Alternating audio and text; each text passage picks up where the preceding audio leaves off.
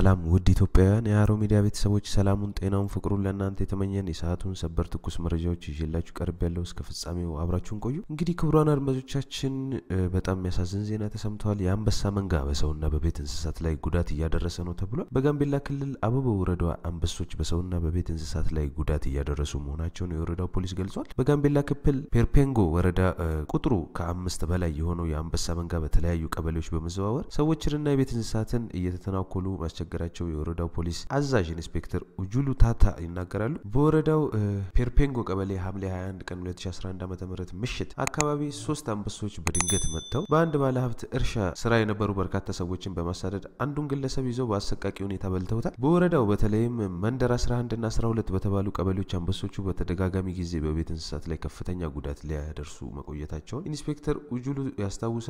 እንደ ወረዳው ነዋሪዎች አገላለጽ ከሆነ ካለፈው ዓመት ጀምሮ ከ300 በላይ የቤት እንስሶች በአንበሶቹ ተበልተዋል። አንበሶቹ በህብረተሰቡ ላይ የከፋ ጉዳት እንዳያስከትሉ በማሰብ የፖሊስ አባላቱ በጥበቃ ላይ እንዲሰማሩ ማድረጉን ኢንስፔክተሩ ይናገራሉ። ችግሩን በዘላቂነት ለመከላከልም በኢትዮጵያ የዱር እንስሳት ልማትና ጥበቃ ባለስልጣን የጋምቤላ ብሔራዊ ፓርክ ጽህፈት ቤት ጋር በመነጋገር ላይ እንደሚገኙም እንግዲህ አስታውቋል። በወረዳው የመንደር 11 ቀበሌ ነዋሪዎች አቶ ተስፋዬ ላላንጉ በሰጡት አስተያየት በቀበሌያቸው በርካታ የቀንድ ከብቶች፣ ፍየልና የጋማ ከብቶችን በአንበሳ መንጋው ተበልቷል። ከአንድ ወር ባልበለጠ ጊዜ ውስጥ እንኳን ከአስር በላይ የቤት እንስሳት የአንበሶቹ ሲሳይ ሆነዋልን ብለዋል። አንበሶቹ ከቤት እንስሳት ባሻገር ሰዎችንም መተናኮል በመጀመራቸው አካባቢያችንን ለቀን ለመሰደድ እየተገደድን ነው ያሉት ደግሞ የአካባቢው ነዋሪው አቶ መሐመድ አባተ ናቸው። እንደ አቶ መሐመድ ገለጻ ችግሩን በተደጋጋሚ ለመንግስት ቢያሳውቁ ምንም አይነት መፍትሄ አለማግኘታቸውንም አልቻልንም ብለዋል። በኢትዮጵያ የዱር እንስሳት ልማትና ጥበቃ ባለስልጣን የማህበረሰብ አጋርነት ባለሙያ አቶ መዝገበ ስዩም ስለ ጉዳዩ ተጠይቀው በሰጡት ምላሽ አንበሶቹ ጉዳት ሊያደርሱ የቻሉበት ምክንያትና በጥናት በመለየት የመፍትሄ እርምጃ ይወሰዳል ባይ ናቸው። እንግዲህ አንበሶቹ የሚያደርሱት ጉዳት ከአቅም በላይ ከሆነ ደግሞ ጥፋተኞችን ለመለየት በመለየት የመቀነስ እርምጃ ሊወሰድ ይችላልም ብለዋል ማለት ነው። ወደ ሌላኛው መረጃችን ስናልፍ የሱዳን አዲሱ ጠቅላይ ሚኒስትር አብደላ ሀምዶክ የመረጧቸው የካቢኔ አባላት በቅርቡ ይፋ እንደሚደረጉ ይጠበቃል። እጩዎቹን ለማጥናት ለጠቅላይ ሚኒስትር በተጨማሪ ጊዜ መስጠት በሚፈልጉ እነርሱን ይፋ የሚያደርገው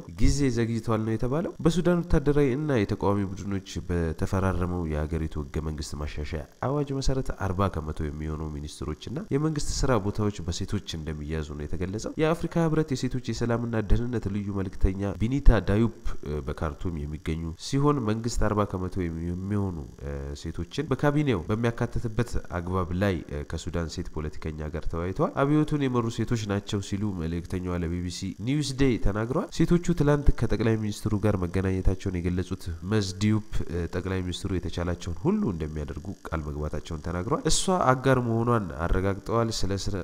ስለ ስርዓተ ጾታ እኩልነትና ሴቶችን ስለ ማብቃት ያውቃሉ።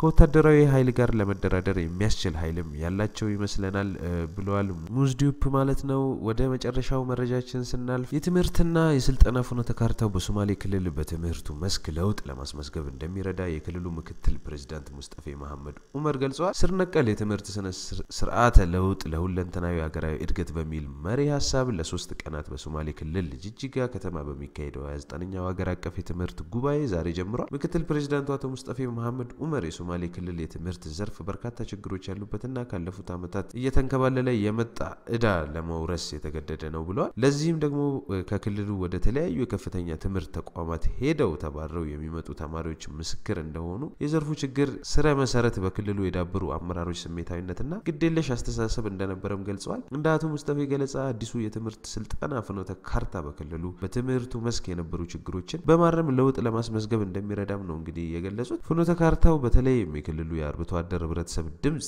የተስተጋባበት መሆኑን የሚያሳይ እንደሆነም ጠቅሰዋል። በመሆኑም ማህበረሰቡ ከዚህ ቀደም ከነበረበት የትምህርት ተሳትፎ ጥራትና ተገቢነት ችግር የሚላቀቅበት እንደሆነም እምነት አለኝ ብለዋል ምክትል ፕሬዚዳንቱ። በተጨማሪም የትምህርት ጥራት በመንግስት ጥረት ብቻ የሚረጋገጥ ባለመሆኑ ለሀገር አቀፍ ተሞክሮ የሚሆን የትምህርት ልማት ፈንድ በክልሉ መቋቋሙን ጠቁመዋል። ጎን ለጎንም የሁለተኛ ደረጃ ትምህርት ቤት ግንባታና ለድርቅ ለተጎዱ አካባቢዎች የትምህርት ቤትና የመምህራን ልማት ስልጠና ክልሉ በቀጣይ ትኩረት የሚሰጥባቸው ጉዳዮች እንደሆኑም አመልክተዋል ማለት ነው። እንግዲህ ክቡራን አድማጮቻችን አዲስ ትኩስ መረጃዎችን ባገኘን ቁጥር ለእናንተ ማቅረባችን እንቀጥላለን። አዲስ ትኩስ መረጃዎች ደግሞ በፍጥነት እንዲደርሷችሁ የዩቲዩብ ቻናላችንን subscribe ማድረግ አትርሱ። መልካም ቆይታ ከሀሮ ሚዲያ